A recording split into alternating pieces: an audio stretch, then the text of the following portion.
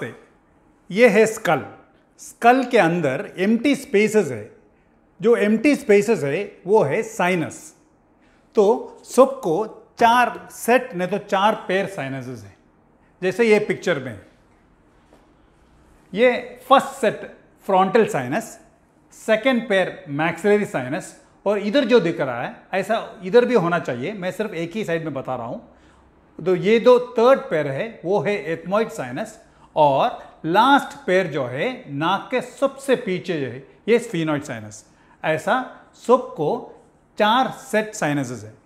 ये जो भी साइनस है बर्थ का टाइम में सिर्फ़ दो साइनसेस रहेगा। एक एथमॉइड और दूसरा है मैक्सिलरी साइनस और छः साल से छः से सात साल में फ्रॉन्टल और स्फीनोइड का डेवलपमेंट शुरू हो जाएगा।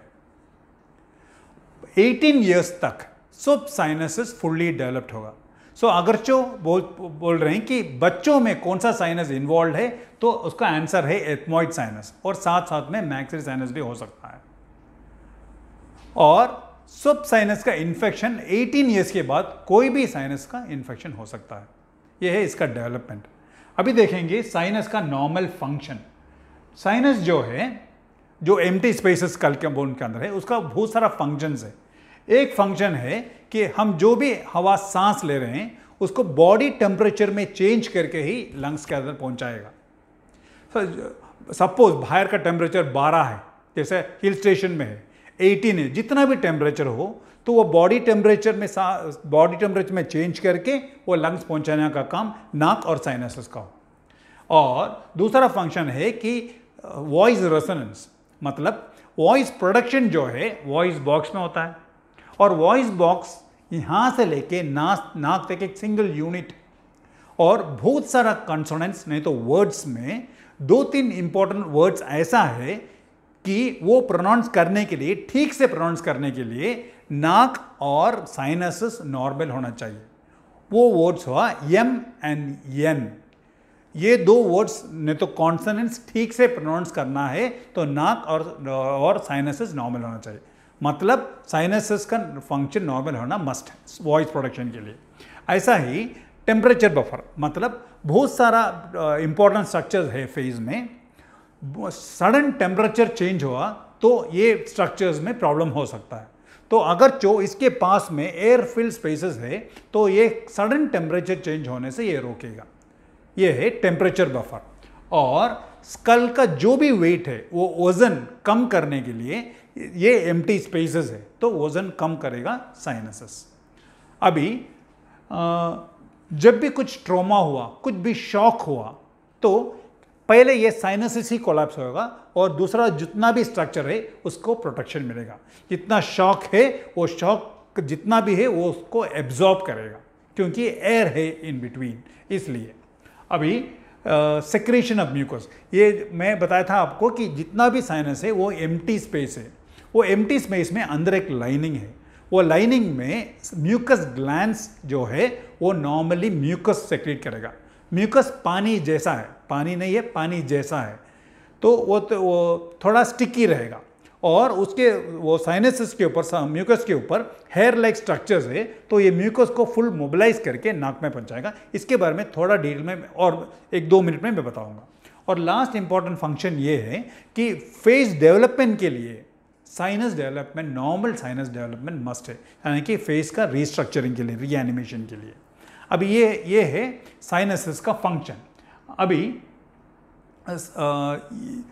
साइनस के अंदर, जैसा मैंने बताया था, एक एक लाइनिंग है।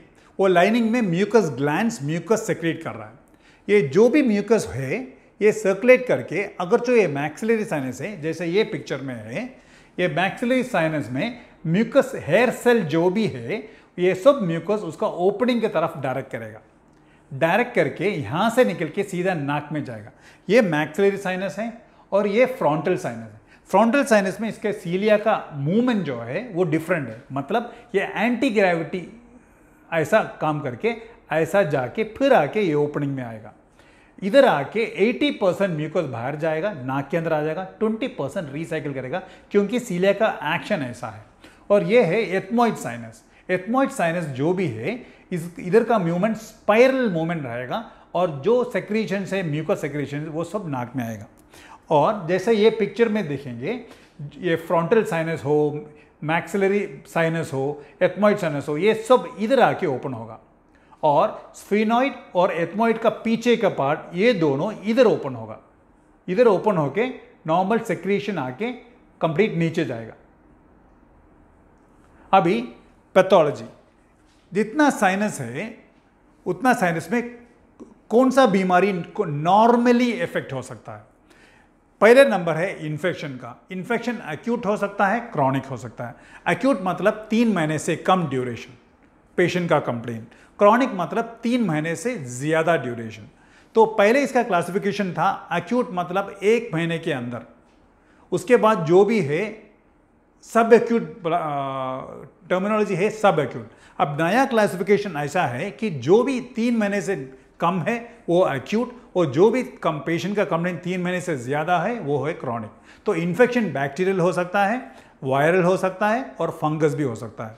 और दूसरा जो है एलर्जी जिसको भी एलर्जी है सेम मरीज़ को साइनस का एलर्जी भी हो सकता है. तीसरा है ग्रैनलोमेटस कंडीशन मतलब मैं एग्ज़ाम्पल बोलूँगा तो आपको जल्दी समझ आएगा। ट्यूबोक्लोसिस जो है, एक ग्रैनलोमेटस कंडीशन ऐसा बहुत सारा ग्रैनलोमेटस कंडीशन है ये जो भी ग्रैनलोमेटस कंडीशन है, वो साइनस में भी इफ़ेक्ट कर सकता है। लास्ट है मैलिग्नेंसी मैलिग्नेंसी साइनसिस में हो सकता है। बट क्या इसका परसेंटेज देखेंगे तो फुल बॉडी परसेंटेज में देखेंगे तो सिर्फ़ point two percentage malignancy maxillary sinus ये साइनस में हो सकता है। ये है common paranasal sinus related diseases अभी एक्सरे देखेंगे। अब प्लेन एक्सरे लेंगे तो प्लेन एक्सरे में चारों साइनस दिख सकता है। ये फ्रंटल साइनस ये ये एथमॉइड ये मैक्सिलरी मुँह खल के एक्सरे लेंगे तो स्फीनॉइड भी दिखेगा। तो अगर चो, ये साइनस के अंदर ब्लैक है, जैसा ऐसा बाहर है ब्लैक है मतलब अंदर एयर है। एयर है मतलब नॉर्मल है। जैसे ये साइनस देखो ब्लैक कलर है। फ्रंटल में देखिए, ये भी नॉर्मल है, क्योंकि ब्लैक कलर है। तो next CT scan CT scan जो है सीटी स्कैन में भी ऐसा, ये मैक्सिलरी साइनस है, अंदर ब्लैक है तो नॉर्मल ये एथमॉइड हो एथमोइड अंदर काला है तो नॉर्मल और ये है फ्रंटल फ्रंटल साइनस अंदर ब्लैक है तो नॉर्मल तो हमने साइनस का डेवलपमेंट चारों साइनस सेट कौन सा देख लिया? और उसका डेवलपमेंट देखा, उसके बाद जो कॉमन बीमारी है पैथोलॉजी वो देख लिया और सब साइनस का एक्सरे और सीटी स्कैन कैसा रहेगा ये देख लिया। आपको स्पेसिफिक एक एक बीमारी के बारे में पता करना है तो मेरा खुद का वीडियो यूट्यूब में डॉक्टर जाकिर हुसैन ईएनटी और साइनस साइनोसाइटिस डाल दो, आपको डिटेल में मिल जाएगा। शुक्रिया।